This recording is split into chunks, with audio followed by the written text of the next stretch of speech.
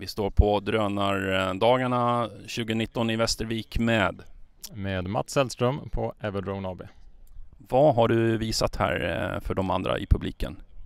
Det vi har gjort här idag är att eh, köra en demonstration utav vårt eh, system som vi kallar för eh, First Responder UAS. Eh, det är ett drönarsystem som på egen hand kan navigera till en skadeplats. Det kan vara en brand eller en bilolycka exempelvis. Eh, och väl på plats så strömmar den bilddata tillbaks till räddningstjänstens eh, ledningscentral.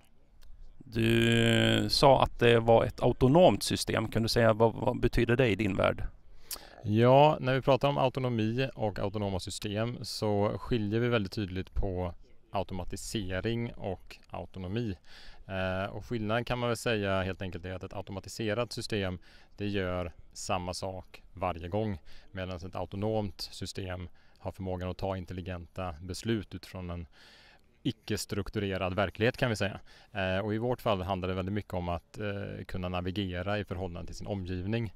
Så den drönaren vi har visat upp här idag den innehåller ett eh, avancerat kamerasystem eh, som gör att den kan undvika hinder i alla lägen. Den har en väldigt, väldigt god förståelse för drönarens omgivning i tre dimensioner och eh, kan på det sättet agera vad vi menar autonomt.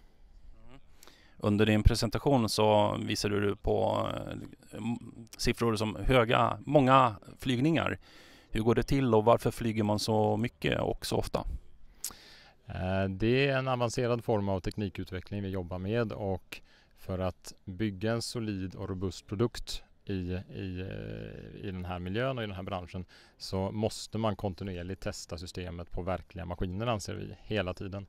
Så att vi, vi flyger varje dag på riktiga maskiner. Vi har mycket simuleringar också men, men att eh, flyga på riktiga maskiner är viktigt för det är väldigt, väldigt besvärligt att simulera en fullt ut verklighetstrogen eh, flygmiljö. Då. Eh, det kan handla om eh, turbulens, det kan handla om strömspikar i systemet, det kan handla om olika typer av yttre faktorer som du aldrig fångar i en simulator och därför är det viktigt att göra riktiga flygningar på riktiga maskiner helt enkelt. Många här i publiken drömmer om eh, att flyga beyond line of sight. Uh, det är väl så att det där är någonting som ni ibland gör? Det är helt korrekt. Eh, vi är eh, bland de första i Sverige, kanske de första till och med, som har ett eh, så kallat 5C-tillstånd. Vilket betyder att vi har möjligheten att eh, med tillstånd från eh, Transportstyrelsen flyga bortom synhåll från operatören. Eh, och eh, det där har vi gjort eh, under det senaste året vid ett antal tillfällen. Vi har totalt flugit ungefär 100 kilometer eh, utom synhåll.